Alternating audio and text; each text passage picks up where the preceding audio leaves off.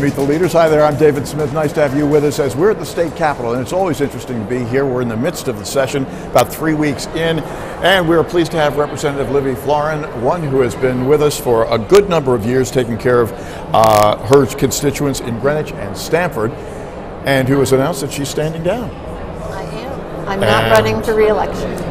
That is uh, that is going a big disappointment, needless to say, to uh, constituents. Uh, we should say that uh, Livvy is one of those who is able to cross uh, the aisles and work with lots of different people, and that is critically important to the political system. So.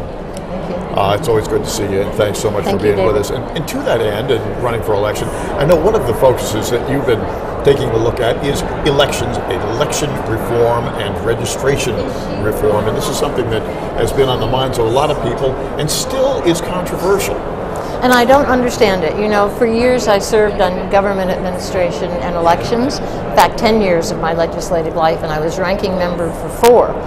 And every time something comes up, like election day registration or whatever, there are people that say, oh, fraud, fraud, fraud.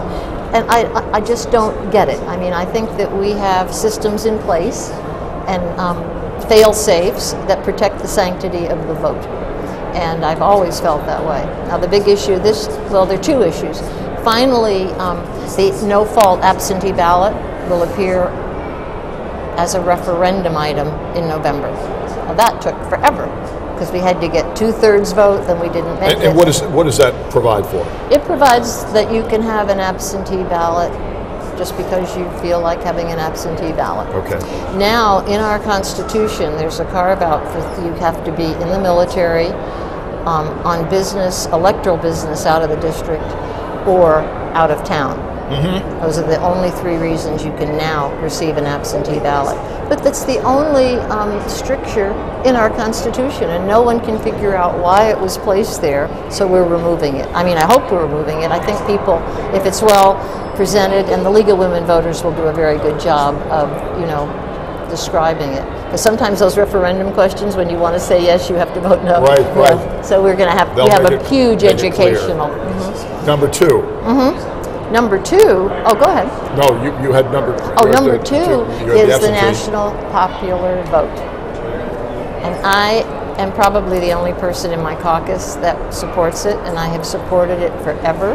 And that's because I truly believe that it should be one person, one vote. And all of these caucuses and primaries, and it just takes forever, and it costs too much money. And the worst part is it allows special interests to Shanghai the agenda. I mean, we live in a world of the bell shaped curve. Almost every person in this country is in that middle ground. But you look at the platforms on both both parties or the mm-hmm. agendas mm-hmm. that happen in these caucuses and stuff, way outside the middle. So you want to see the public election. I want every person's vote to count. And if you're going to have a primary, it should be an open primary countrywide. Get rid of these caucuses, get rid of this interminable two year run up to choosing a candidate, mm-hmm, mm-hmm. get rid of the Electoral College.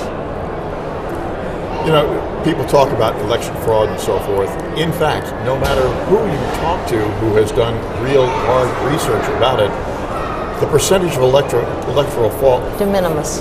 it- I know what you meant. Point oh oh oh oh oh oh one. I mean, it's virtually non-existent, and yet people wave that fraud flag every time any kind of restructuring is proposed. Well, it's a fear tactic. And why? Well, why are so they afraid? they're afraid they're not going to get the vote. Well, that's you know that, that's all well and good, but uh, the other side should be doing a better job at countering that that fear with more. The facts should be able to get out with folks like yourself. You're absolutely correct. And I think we're gaining on it. And what's helping is technology because we can track people, you know, very, very easily. Sure. And we know, we know if somebody's voting twice, I mean, that's not going to happen. And I can say that with almost certainty. Same day registration. Uh, That was another one. That is now a law. We um, had it for the first time this past election cycle in November. And I guess we had about uh, 2,500 people. That's all that, that took part. What a of it. And it worked fine. Uh, a legislator who actually believes that people should be allowed to vote. Yes, and, Okay, and more of them. And more of them. Mm-hmm. Early and often.